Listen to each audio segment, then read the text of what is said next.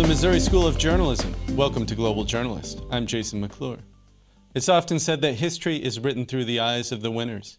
When we look at maps of the world, we often don't see territory conquered from one group as belonging to its previous owners, as much as part of the winning side's gains.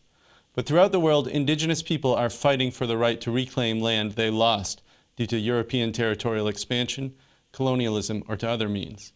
One place where this debate has been ongoing is Australia.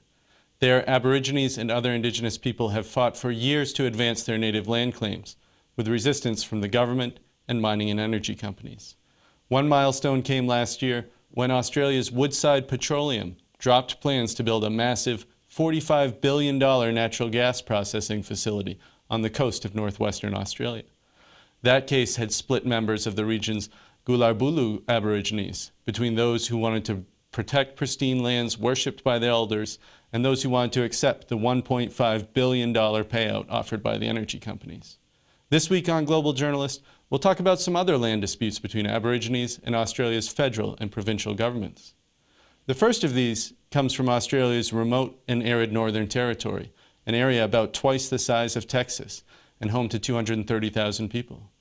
There, at a place called Muckaty Station, about 800 kilometers south of the city of Darwin, the Australian government had plans to build a nuclear waste dump on Aboriginal land to hold the country's radioactive waste.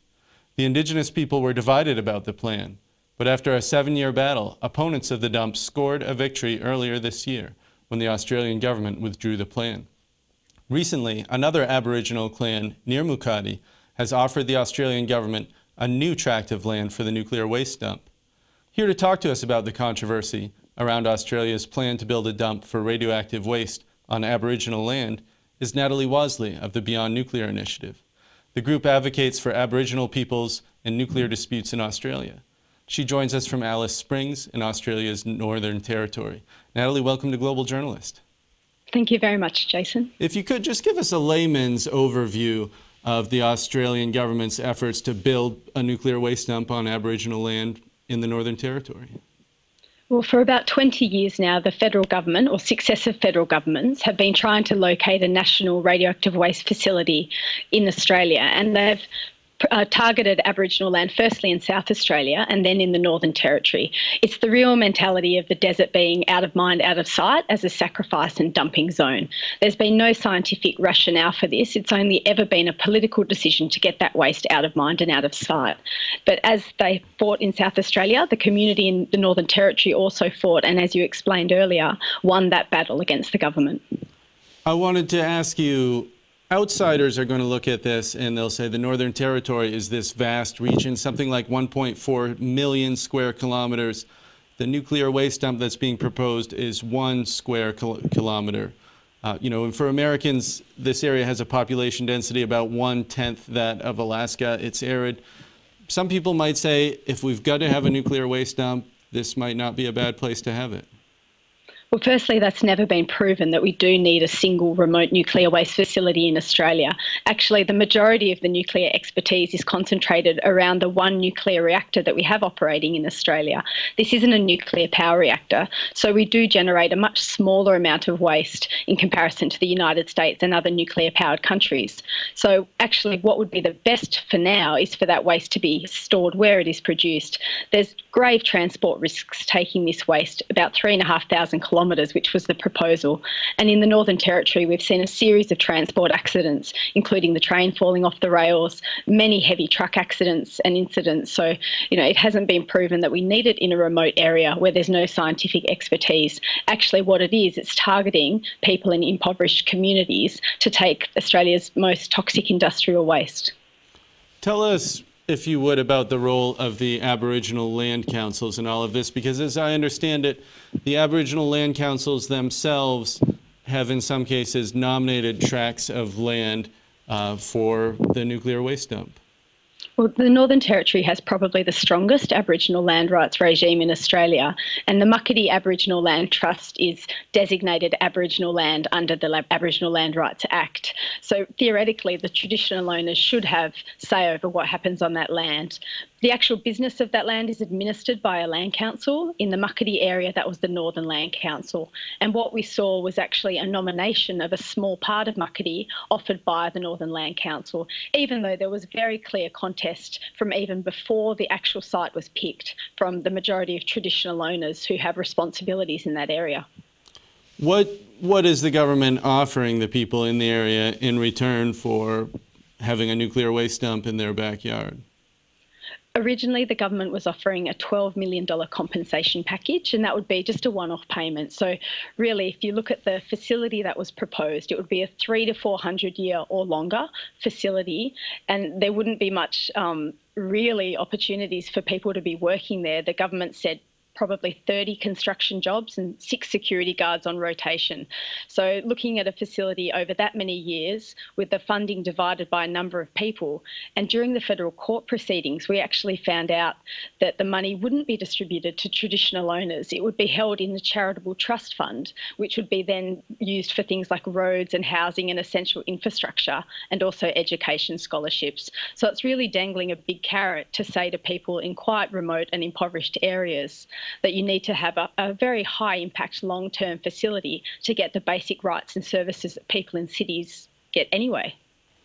Aboriginal people in Australia have significantly higher rates of poverty, unemployment, alcoholism than the general public.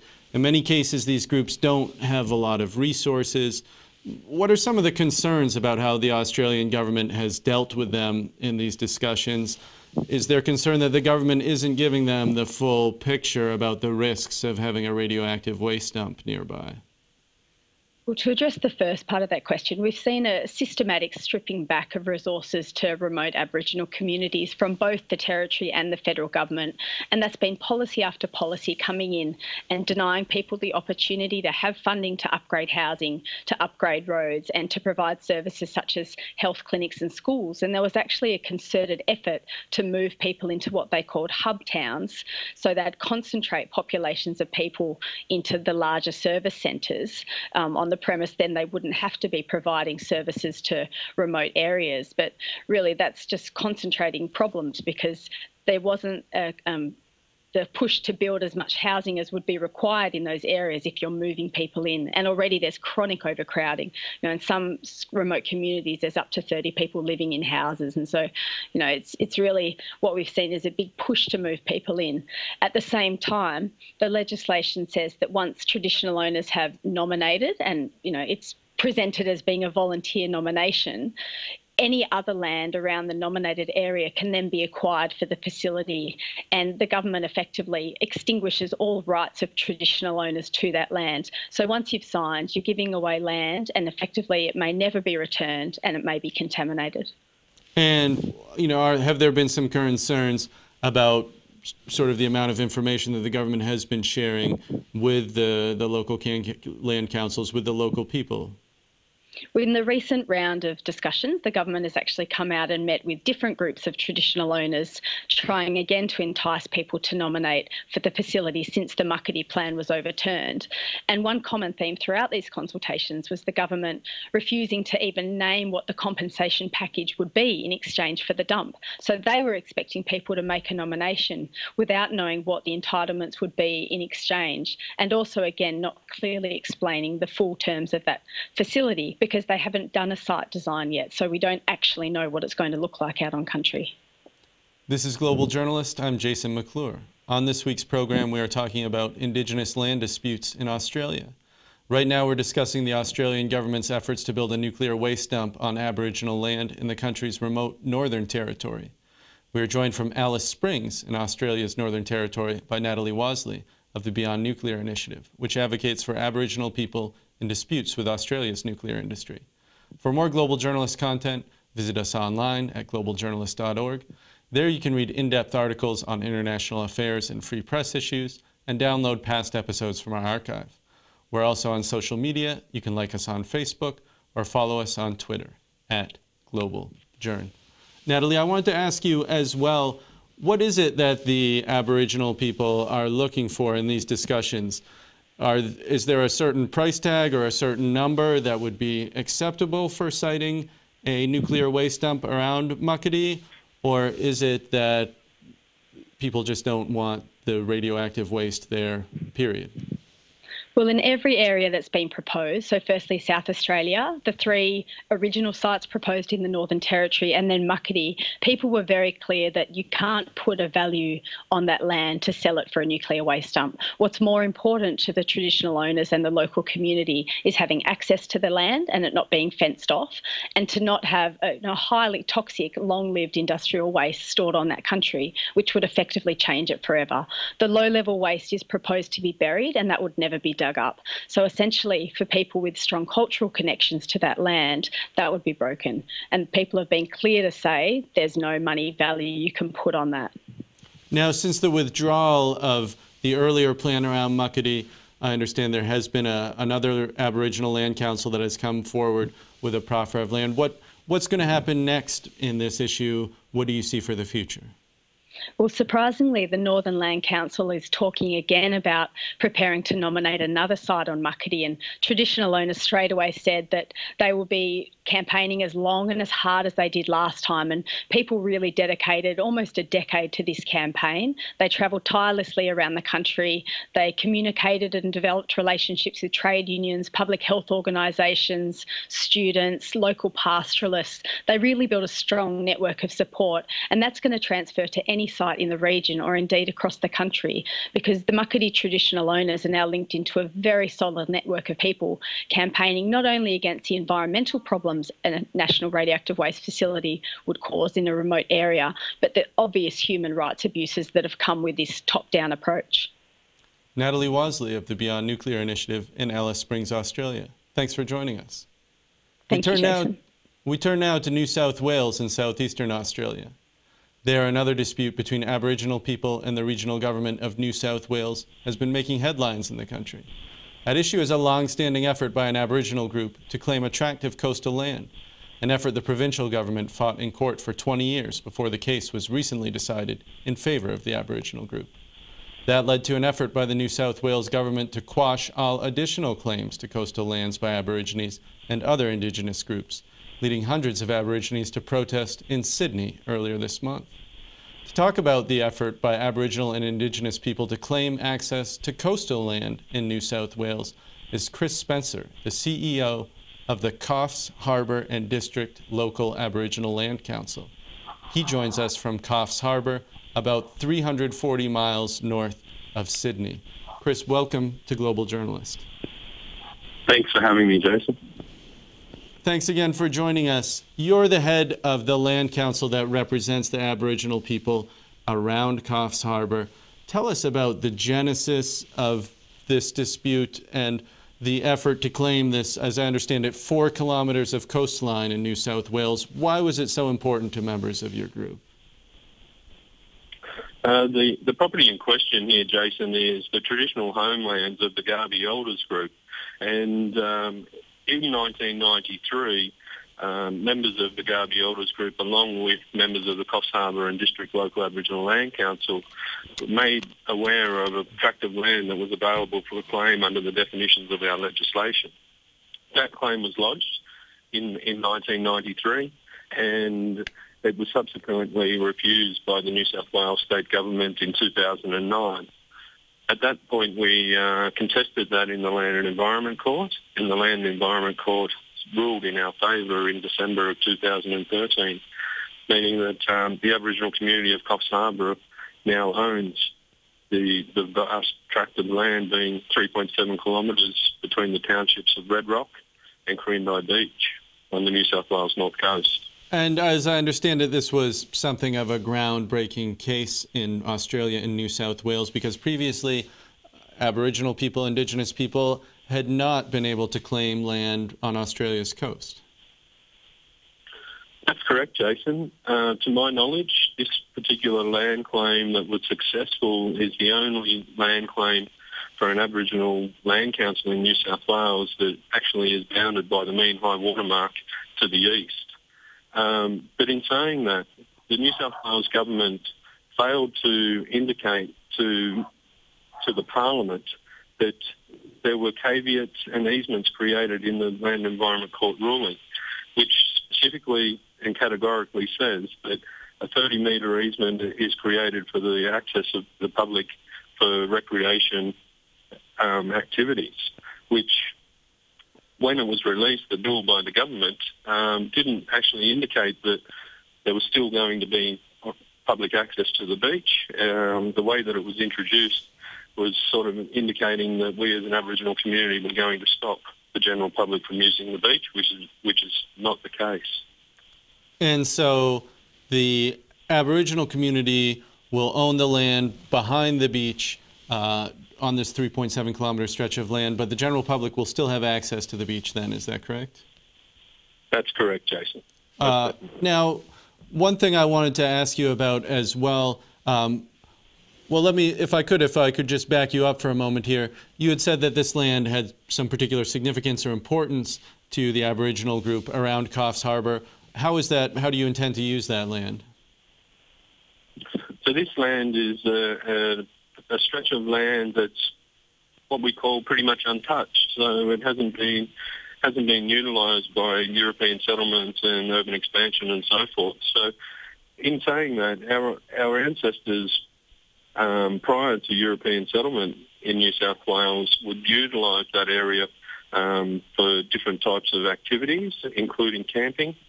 Um, I know that past elders have been born in that particular area as well, and it contains culturally significant areas known to, to our community as Hogan's Hole and Washaway.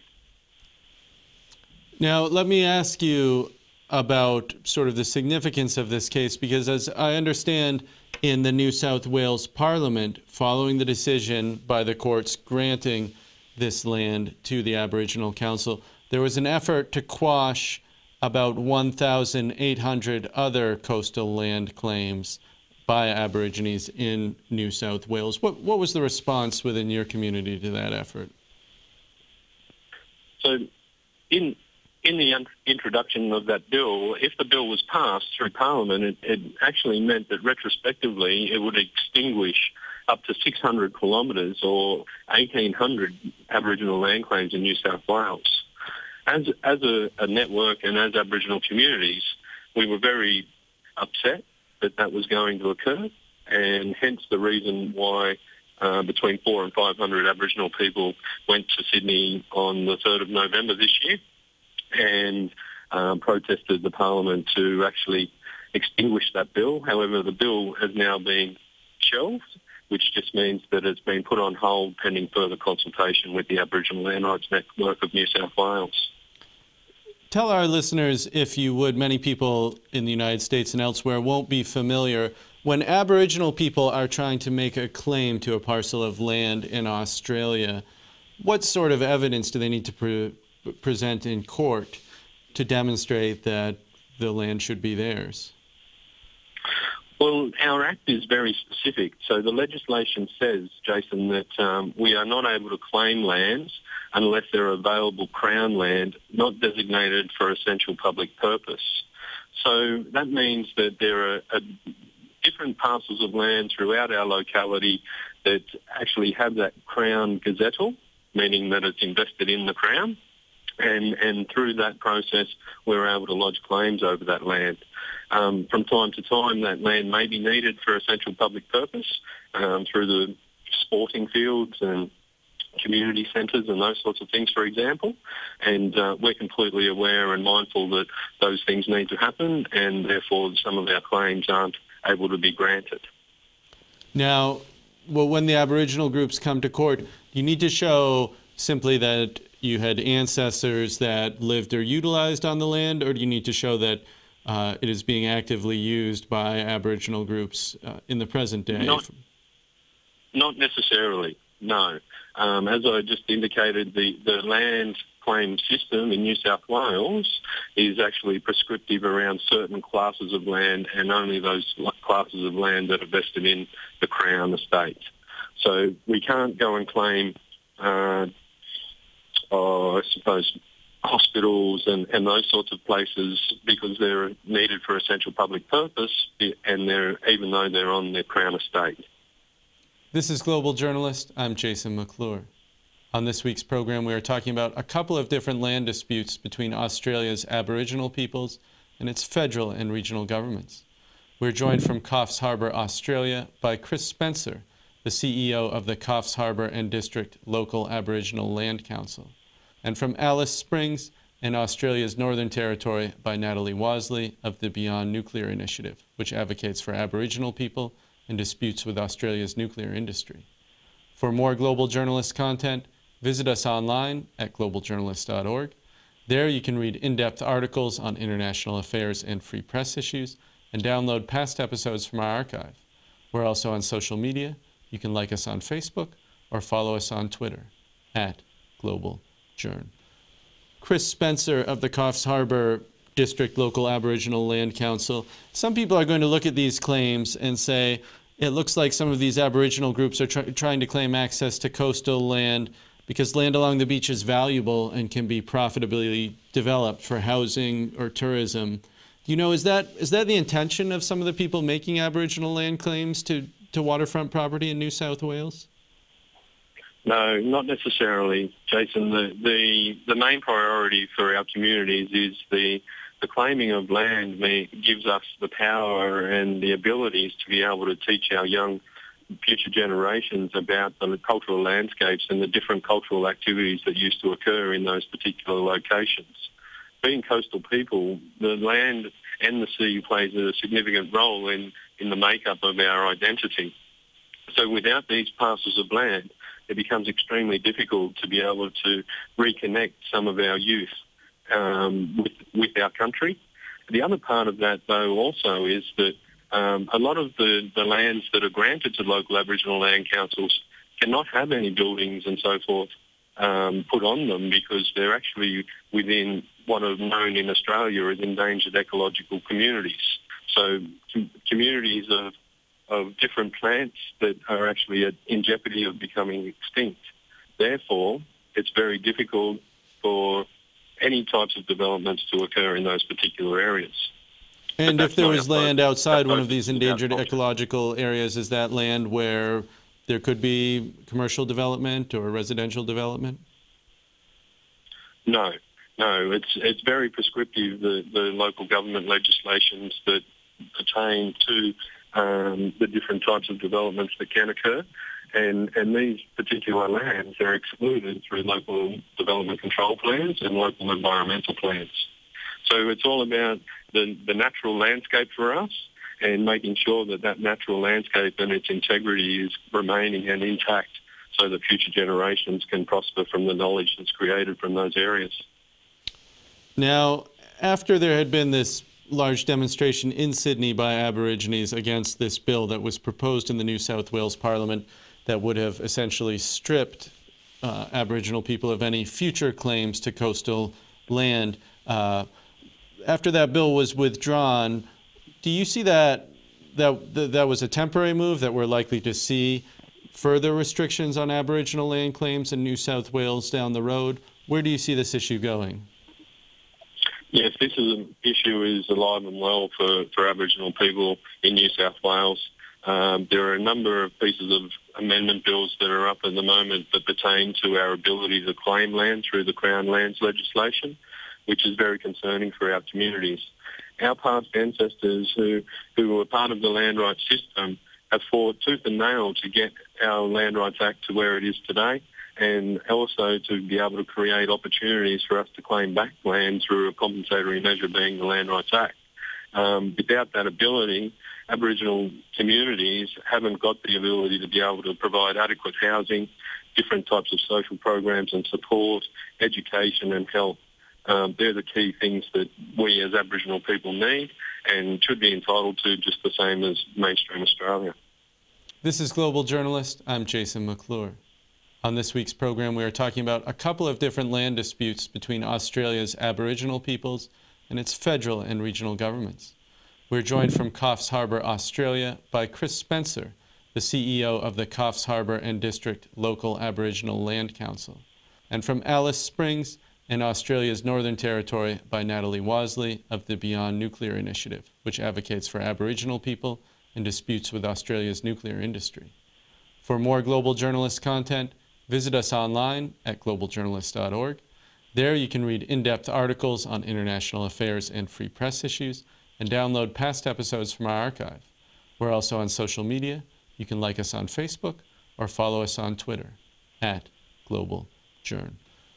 Natalie Wasley of the Beyond Nuclear Initiative, I want to turn the conversation back to you again. You'd mentioned earlier in our show with regards to the effort to site uh, a nuclear waste dump on Aboriginal land in the Northern Territory that the government's efforts over the past two decades to site a radioactive waste facility in Australia have time and again been focused on Aboriginal lands. Why do you think that is? Well, it really is uh, picking an impoverished community. They think they can throw breadcrumbs at essentially and get people to sign off for this toxic deal.